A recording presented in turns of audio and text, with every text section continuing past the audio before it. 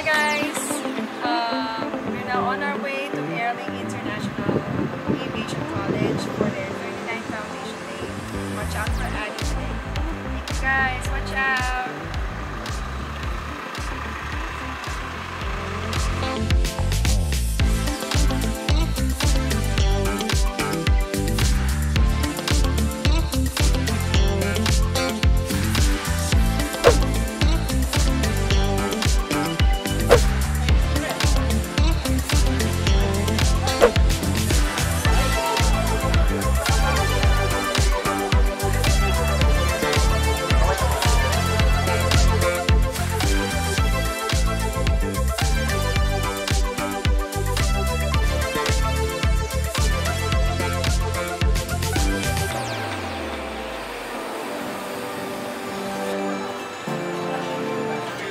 Papatarpulin niyo po. No. Po? Video mo ba yan? Opo. Ay, video pala eh. Hindi ko ya. Thank you. Thank you.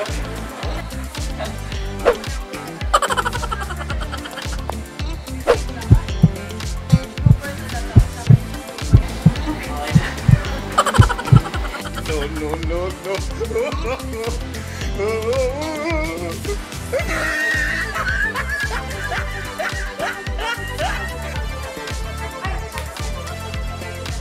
No, no, no, no.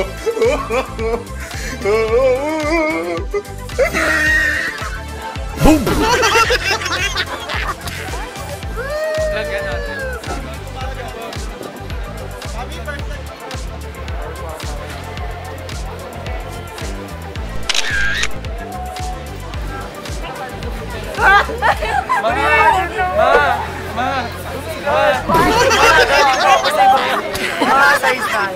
Pati ka naman na. Pamilya ko, kamag-anak. Boy, sayaw ka na. No, no, no,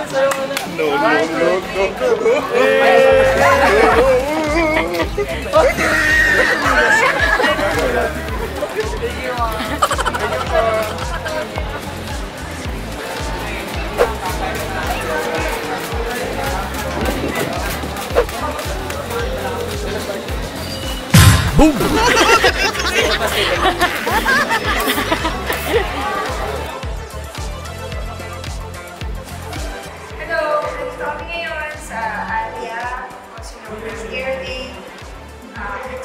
Aviation College.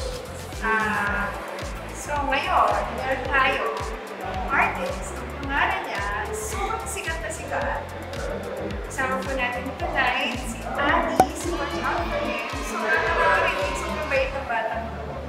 Um, he will render at least five songs tonight. So watch out for it. We will make a video for it and share it with you.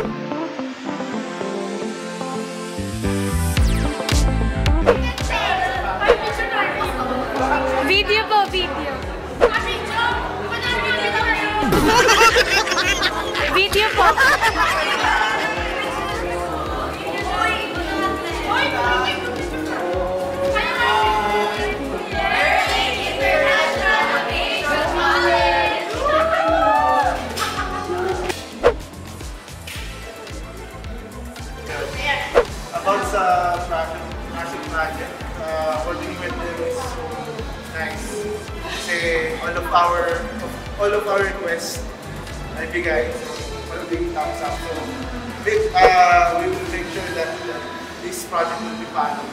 Another project. Okay? The assurance na nga. Ayan sir, saan naman sir next project natin? Yan.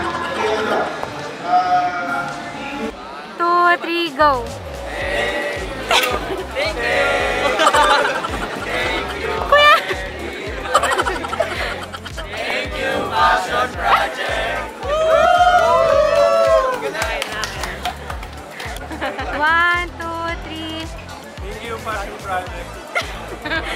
Okay lang na, laksan mo pa konti. Isa lang, last na, last na, last. One, two, three. Thank you.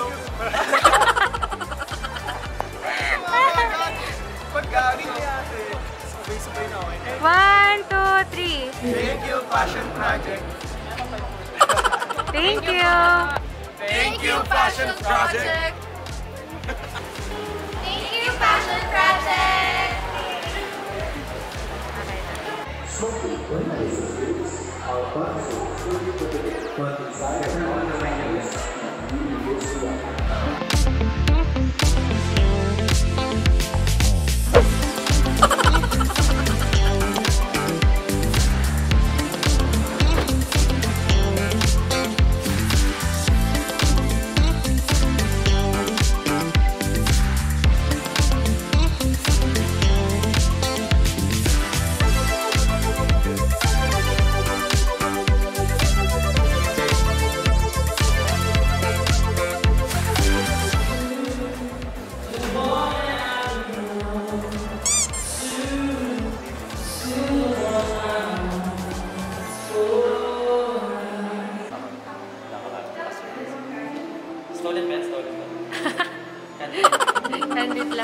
Candid lang.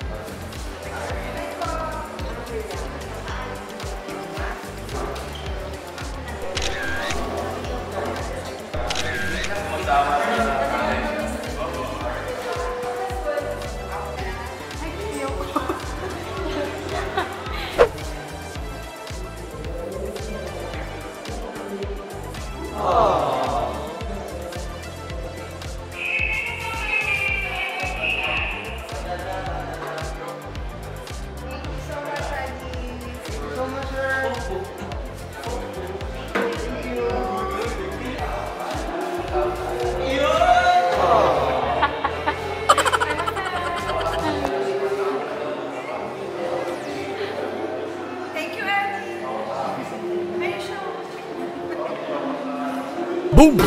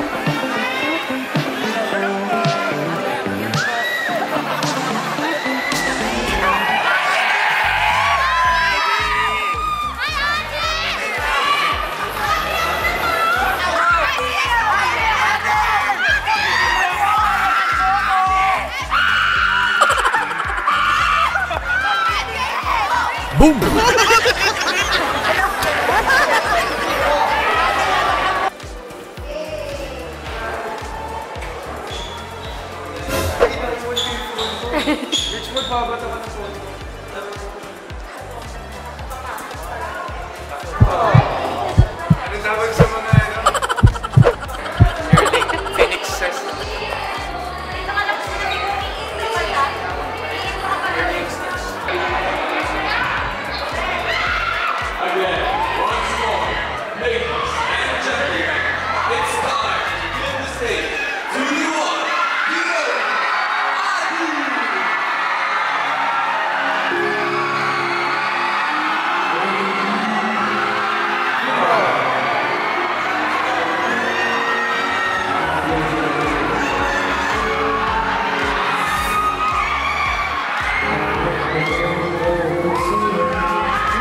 Bukod sa Phoenix Sister at mga panananin po kayo.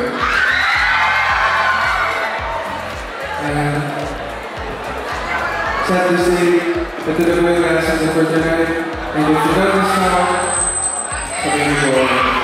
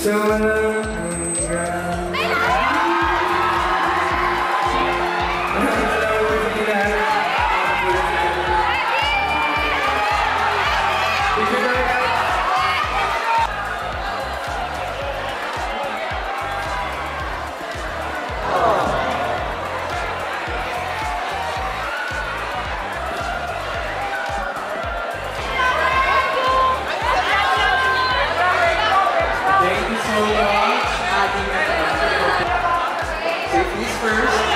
Thank you so much. Kamusta po yung event? Yeah, good. Very good. Enjoy it. Phoenix enjoyed Adi. Thank you, Passion Project. Thank you so much, Adi. And uh, sobrang napasaya mo buong Adi today. And hopefully we can see you again next time sa aming mga projects. Yep. Bye-bye! Thank you for watching our vlog. Bye-bye! Ano pa? Ano for your next event, meron kayong event na upcoming sa school nyo, sa company nyo, and everything, you can contact us sa VP Events. You can also check our Facebook page, Instagram, and Twitter. Nandun lahat ang details namin. Just give us a PM or direct message. We'll get back to you. Maraming salamat. Bye-bye, everyone. Thank